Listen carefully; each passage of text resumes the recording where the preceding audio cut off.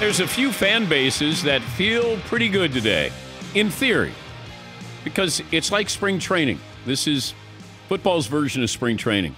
We got hope, we got a chance. The sun is out. If you're a Jets fan, you're like, yes. Giants fan, yes. Eagles fan, yes. We don't want to start positive, do we, with Dan Orlovsky of the Mothership, kind enough to join us. Uh, it looks like he's outside a hotel here. Uh, you can see him on NFL Live later today, 3 to 5 Eastern on uh, the Mothership. Dan, do you want to start positive or negative?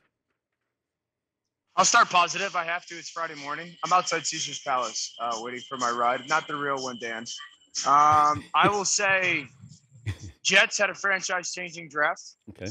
Um, just just a phenomenal draft for them. Um, when when you talk about the talent that, that they got is just lights out.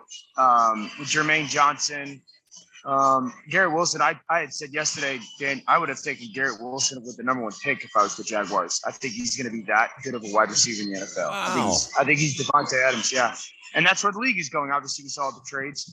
Uh, Philadelphia had an incredible evening um, and is is the division favorite uh, in the NFC East. Um, I thought the Giants got a lot better in the line of scrimmage. The Detroit Lions are are the second best team in that division right now. Um, so some really really good starts for teams. Uh, we waited for Pittsburgh to take Kenny Pickett. Were you uh, how surprised at that? I wasn't shocked that they took the quarterback. I just thought at 20, if Malik Willis was there, they were going to take Malik Willis. Um, listen, awesome, phenomenal story when it when it comes to Kenny Pickett and, and him being from there and then playing college football in there. And uh, I have a couple things. Number one, they see Kenny Pickett every day. Pittsburgh, that organization, they practice basically on the same fields, so they've obviously got to feel a level of comfort with uh, this, the selection of him. Um, he's a very similar player to Mitchell Trubisky, though, and that's where I have a little bit of hesitation with it. Is um, physically they're kind of the same guy, good athlete, really dependent on their ability to run around and create. Um, poor mechanically, average accuracy. So I feel that that's why I felt a little bit stronger about if they get a guy Malik Willis because of the high end talent, or Desmond Ridder because of his, you know, his, his uh, pocket operation. Um, but they are, like I said, they, they see Kenny Pickett every day, so they must must really like him. Yeah, and we've corresponded. I don't think any of these quarterbacks are first round talents. Um, I, Right. I think they're all projects. I just brought up if I'm a team and I and I need a quarterback now, I take Baker Mayfield. I somehow make a deal for Baker Mayfield. It's a one year deal, Dan. And if the Browns will pick up the tab or half of it, I got a starting quarterback for $18 million who now needs to prove himself. I, Yep. you know, a guy who plays with a chip on his shoulder, man, I'd be, I'd be really interested in Baker Mayfield right now than one of these guys who are going to be a project who are going to be drafted, you know, either tonight or tomorrow. Yeah, no brainer, Dan. I, I said that he'll be the draft steal of the weekend. And if you're the team, here's the reality because it's facts over feelings. The, the fact is, the last time Baker Mayfield uh, played healthy in the NFL, 21 of 30, 320 yards against the Kansas City Chiefs. Now, yes, he threw an interception on the final game winning drive potential, but he played really good football that day. Yeah. Two years ago in 2020, he was a top 10 player. So is your vantage point 2020 or 2021 um, with how you view Baker Mayfield? But if I'm one of these teams and I'm sitting here and, and I get into the fourth round, Cleveland's got to eat 14, 15 million dollars of his deal because if they cut him, they got to pay him 19. So they, they got to eat a chunk of it, and that's their own doing.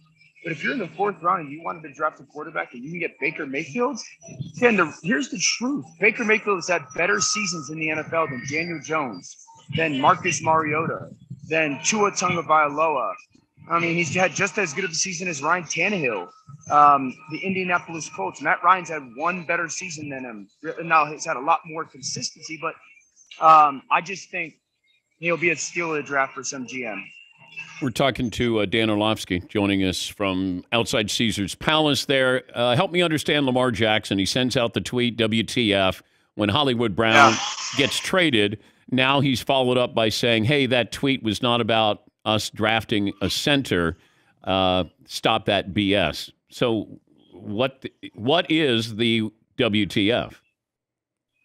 Uh, I, I, think there's some some hurt there. You know, Hollywood him are boys. I mean, they, they kind of grew up in the same area, and and it's bigger than football for Lamar And when it comes to Hollywood. And the fact that Hollywood went to the organization, asked for the trade, and really, at least to our reports today, did not communicate in any way to Lamar that I, I think he's hurt over that. You know, he lost a good receiver, but I think he lost one of his best friends. And I think that's where that frustration lies. The Ravens had an incredible draft.